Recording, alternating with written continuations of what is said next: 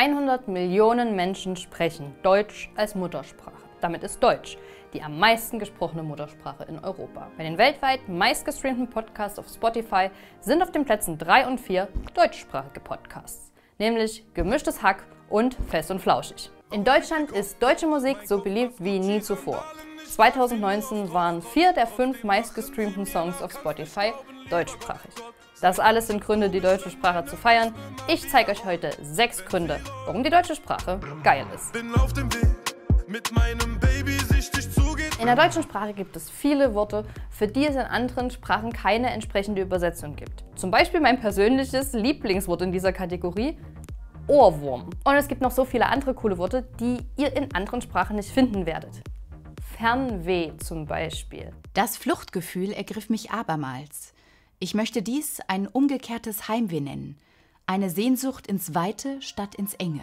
Ein Wort hat zum Beispiel die Engländer so begeistert, dass sie es einfach gleich übernommen haben. Und zwar die Schadenfreude. Das war klar, dass sowas wieder von uns kommen muss. Es gibt aber auch noch schöne Worte. Zum Beispiel Weltschmerz, Fremdschämen, lebensmüde oder auch ganz lustig Schnapsidee. Und natürlich ein Wort, das alle kennen, die in ihrer Teenie-Zeit mal alleine zu Hause waren, sturmfrei. Und wer hat den Begriff in dieser Bedeutung geprägt? Natürlich Studenten.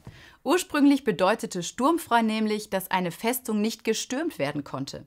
Die Mauern der Festung waren höher als die Sturmleitern der Feinde. Somit konnten sich die Burgbewohner sicher sein, dass keine ungebetenen Gäste in die Burg gelangen können oder bereits in der Burg anwesend sind. Ich habe das Gefühl, wir haben einen regelrechten Fetisch für lange Worte. In kaum einer anderen Sprache kann man verschiedene Worte so einfach aneinanderreihen, dass sie ein neues, langes Wort ergeben. Aber hey, kurz und knapp, das kann jeder. Deutsch ist einfach was für echte Cracks, äh, Profis. Am häufigsten kommt es übrigens im juristischen Bereich vor. Spitzenreiter war hier zuletzt mit 67 Buchstaben die Grundstücksverkehrs, Genehmigungszuständigkeitsüber die Grundstücksverkehrsgenehmigungszuständigkeitsübertragungsverordnung, die wurde aber 2007 aufgehoben. Also ich fand sie toll. Nicht gut fürs Scrabble-Spielen, aber auch sehr beliebt bei uns sind kurze Worte, die wir vor allem im Mündlichen als Füllwörter benutzen. Und die haben meist keine eigenständige Bedeutung in einem Satz, sondern sie stellen die übrigen Aussagen in einen anderen Kontext. Sie zeigen, wie man eine Aussage einschätzen kann. Zum Beispiel mit ja eben. Oder sie dienen dazu, zu zeigen, dass man sich bei einer Aussage nicht hundertprozentig sicher ist. Zum Beispiel quasi ist so ein Wort.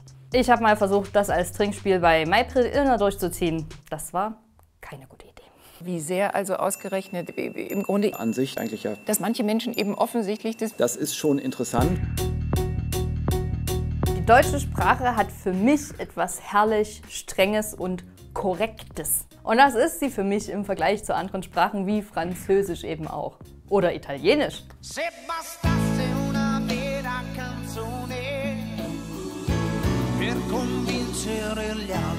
Übrigens, vom französischen Sabonné zu Abonné, etwas für jemanden abonnieren oder älter eine zeitlich begrenzte Leistung vereinbaren, kommt auch das Wort abonnieren, habt ihr euch sicher schon gedacht.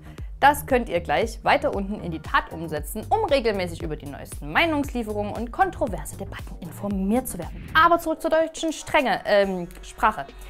Vermutlich klingen wir streng und hart, weil die deutsche Sprache im Vergleich zu anderen recht viele Konsonanten verwendet, also Buchstaben wie B, C, P, T oder K. Im Gegensatz zu den Vokalen. Für Konsonantenhäufungen sind wir regelrecht berühmt und berüchtigt. Dampfschifffahrt und Wörter wie Strumpf oder Ernst bringen viele Konsonanten sogar in nur einer einzigen Silbe unter. Man kann richtig toll schimpfen. Hackfresse, Gesichtsgrätsche, Vollpfosten. Leck mich doch am Arsch, Mensch! Der Heiland! Ich habe Durst, verstehst du? Ich schieb dir deine Scheißgeschenke gleich in deinen fetten Arsch! Du dumme Sau, du! Das härteste, was ich auf Französisch kenne, ist Pauvre Connard. Da würde ich mich nicht angegriffen fühlen, da würde ich denken, jemand will mit mir flirten. Das kann man doch nicht ernst nehmen. Und wir mögen offensichtlich nicht nur eine harte Aussprache, sondern auch strenge Regeln. Wo sich Spanier, Franzosen und Engländer dachten, Oh, lass uns mal grundsätzlich alles kleinschreiben, sagten wir uns, holt my Substantiv. Bei uns gibt es über 20 Regelungen nur zu Groß- und Kleinschreibung. Und wie gerne wir offensichtlich über Sprache und Rechtschreibung streiten. Sag deinem Bischof, er kann mich im Arsche lecken. Ähm, entschuldigt, aber heißt es nicht am Arsche lecken? Und noch ein Grund, warum ich die deutsche Sprache liebe, ist, dass wir nicht kleckern, sondern klotzen. Und zwar mit Artikeln. Nicht wie die geizigen Engländer mit ihrem puppeligen einen Artikel mit einem unbestimmten Ä und einem bestimmten The. Übrigens haben viele Sprachen keine grammatischen Geschlechter für ihre Substantive. Zum Beispiel Japanisch, Chinesisch oder Türkisch. Die meisten romanischen Sprachen haben nur zwei, männlich und weiblich. Zum Beispiel Spanisch, Französisch und Italienisch. Tja, und wir, wir haben sogar drei Artikel zur Wahl. Und die stehen jeweils für ein Geschlecht bei der Sprache. Also dem Genus, wie der Experte sagt. Und der Artikel ist wichtig. Nicht mal Nazis und Linke stehen einander so erbittert gegenüber wie die Fraktionen im Streit darum, ob es nun die Nutella oder das Nutella heißt. Schreibt mir in die Kommentare, seid ihr Team die oder Team das Nutella? Ich habe das Gefühl, in unserer deutschen Sprache ist alles im Flow, also im Wandel. Sie lebt davon, dass sie sich stetig verändert und anpasst. Einflüsse aus anderen Sprachen für uns kein Problem. Wir wissen, was Habibi bedeutet und wir wissen auch, was koscher ist. Ich finde, auch die Jugendsprache hat bei uns ihren Einfluss. Denn die erfindet oder recycelt immer wieder neue klangvolle Worte, die dann auch sogar in den normalen Sprachgebrauch übergehen. Langscheid hat sogar jahrelang das Jugendwort des Jahres von einer Jury wählen lassen. Ausdrücke wie Smombi oder Niveau Limbo waren wohl nur in den Juryköpfen coole neue Ausdrücke von Jugendlichen. Aber das Wort von 2018 war wenigstens mal auch ein wirkliches Wort, das viele benutzen. Ehrenmann. Und cool ist doch auch in der Jugendsprache, dass hier viel aus anderen Sprachen einfließt. Du, Fiete, sag mal, hast du meinen Schal gesehen? Seit vorhin habe ich den nicht Wallahi, ich habe den Schal nicht gesehen. Ist das mein Schal, den du da trägst? Wallahi, ich habe keine Ahnung, wo dein Schal ist. Ich glaube, das ist mein Schal. Hä, das ist meiner, Wallah. Bist du dir sicher? Wallah, du kannst mir glauben. Aber Wallahi, ich habe keine Ahnung, wo dein Schal ist. Wallahi, das ist meiner. Das Ich ist glaube, mein das Schal. ist mein Schal. Muss nicht dieser Schal sein? Das Video von den Datteltätern, in dem es um den muslimischen Slang geht, das findet ihr hier in der Infocard. Und nicht vergessen, die Videos könnt ihr euch, weil Funk ja öffentlich-rechtlich ist, kostenlos in der YouTube-App runterladen und dann jederzeit anhören. Insgesamt ist die Angst, dass wir zu viele englische Begriffe oder sonstige Fremdworte benutzen und unsere gute alte deutsche Sprache damit den Bach runtergeht und verdrängt wird, ganz klar unbegründet. Das sagt auch der Duden. Ein durchschnittlicher Zeitungstext enthält 8 bis 9 Prozent Fremdworte. Und dabei werden sogar Worte wie Interesse genauso wie die Information mitgezählt. Blickt man jetzt nur auf die englischen Fremdwörter, sind es ähnlich viele. Sogar Werbetexte, die prädestiniert sind für die sogenannten Anglizismen, enthalten meist nur 4% davon. Überraschenderweise hat sich der Fremdwortgebrauch damit im Vergleich zu früher sogar kaum erhöht.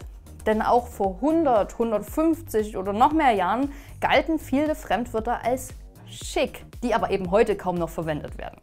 Oder flaniert ihr noch gerne über den Trottoir und säubert euch am Waschlavoir? Laut Duden schafft es die deutsche Sprache sehr gut, Fremdwörter zu integrieren, indem wir sie nämlich einfach den einheimischen Wörtern in Aussprache, Schreibung und Endung anpassen. Da merkt dann irgendwann kaum noch einer, dass der Onkel ursprünglich aus Frankreich kommt, Onkel, und der Keks aus England, Cakes. Unsere Lage in der Mitte Europas mit so vielen verschiedensprachigen Nachbarn ist ein kultureller Luxus, der es uns möglich macht, aus den schönsten Sprachen der Welt wie von einem Buffet auszuwählen. Es gibt auch Stimmen, die vor der Veränderung warnen und sie ablehnen. Motto, deutsche Sprache ist in Gefahr, rettet sie. Die bekanntesten sind da die Vertreter vom Verein Deutsche Sprache. Die haben auf ihrer Website ernsthaft einen Anglizismen-Index, bei dem man einen neuen Anglizismus melden kann.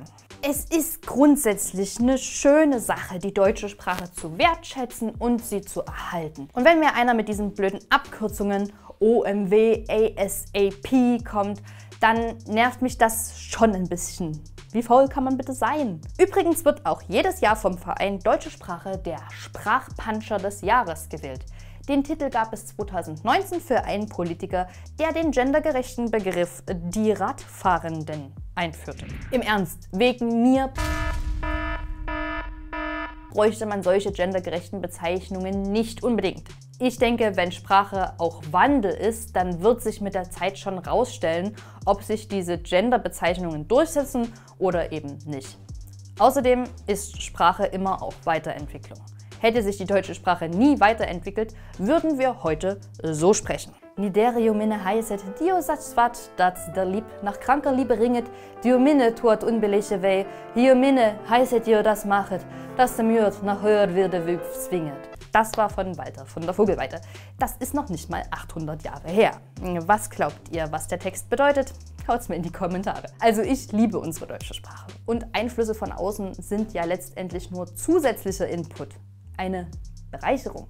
Übrigens kann es meiner Meinung nach nicht schaden, selbst für Vielfalt im Wortschatz zu sorgen. Also zum Beispiel nicht zu allem geil oder scheiße zu sagen, auch wenn die Begriffe in sehr vielen Situationen passen. Ob Dialekte hot or not sind, darum geht es in diesem Video von Deutschland 3000. Viel Spaß dabei. Ich sage jetzt aber erstmal Adieu und bis nächste Woche.